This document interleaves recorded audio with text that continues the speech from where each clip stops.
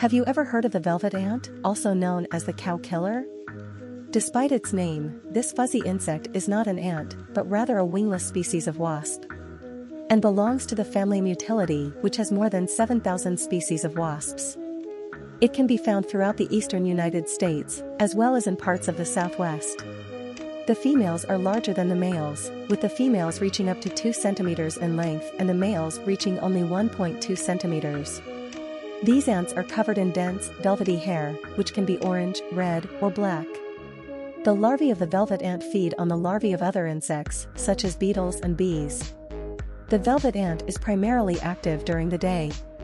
These wasps are commonly known as cow killers due to their extremely painful sting, which can kill a cow and has been compared to the feeling of being electrocuted.